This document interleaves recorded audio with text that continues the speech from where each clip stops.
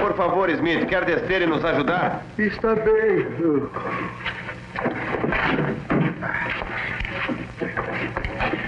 Vamos, depressa. Sabe que tenho a constituição delicada, Major. Ah. Pronto, Will. Espero que tenha comido bem. Vamos ter um dia cheio de trabalho. Não se preocupe com a minha fome, papai. Só consigo pensar em arranjar combustível para partirmos deste planeta.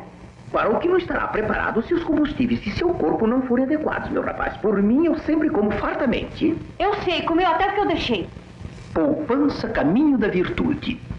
É melhor eu colocar este aviso agora. Pode ser muito tarde quando voltarmos. Boa ideia. Eu não demoro.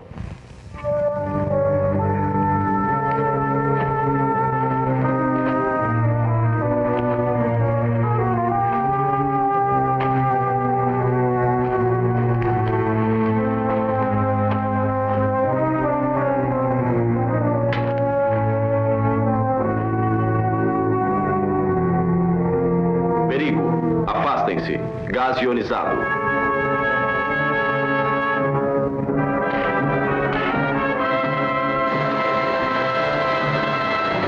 O que acontecerá com o valente professor Robinson? Será vitimado pelo gás mortal? Não percam na próxima semana, nesse mesmo horário e canal, mais um filme da série Perdidos no Espaço.